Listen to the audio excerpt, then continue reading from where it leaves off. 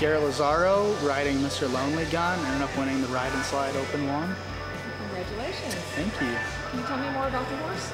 Um, I honestly don't know who he's out of. Um, he's just an older horse, real easy going. He's one of our non-pro horses that I was school showing for a client, getting him ready. Uh, great horse. He was a Derby finalist several years back to back, and outstanding little horse. Can you tell me about your own background and show experience? Uh, my mom and my boss showed together back in my in their youth days, and I ended up going down the same path after high school. I worked for a cow trainer for about a year and a half up in uh, Wisconsin, and then begged to come down to Texas. Couldn't stand the cold up there, and decided to ride reiners. Been riding for Jarvis for about a year now. What is your favorite thing about riding reiners? Uh, very humbling.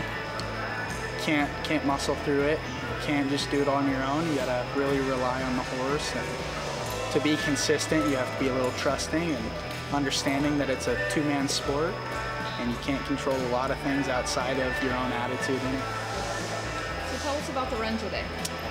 Uh, it was a real light run. Just kept him honest and kept him in the bridle. Kept him as soft as I could and worked on our rundowns real smooth and try to keep him straight. Uh, do you plan to show him again?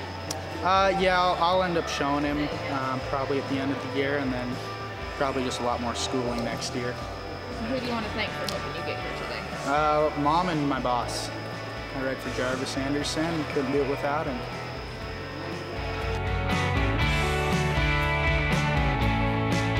Right. Hi, I'm Frank Costantini. I'm here this afternoon with Amanda Lester and Chloe Lawrence. Amanda, you have some questions you'd like to ask Chloe and I as far as what we do with Markel? I sure do, Frank. So, what all does Markel cover? We cover farms and ranches, uh, equine mortality, commercial liability, and also autos.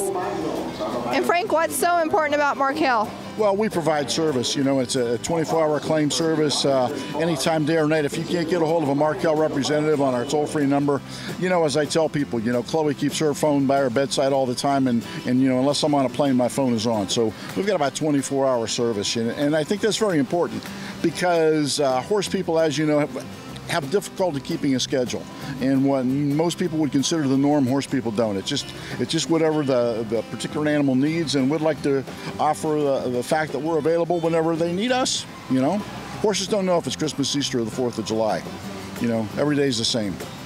Well, Frank and Chloe, thank you guys so much for your time, and thank you for your sponsorship of Virtual Horse Help and other reining events and other shows and all that. You guys are a great part of this industry. Well, Amanda, we appreciate what you do, and uh, uh, with Virtual Horse Help, and also your contribution that you make, and uh, the publicity you bring to companies like Markel, and to people like Chloe and myself. Awesome, guys. Thank you, Chloe, for your time. Thank you, and knowledge is power.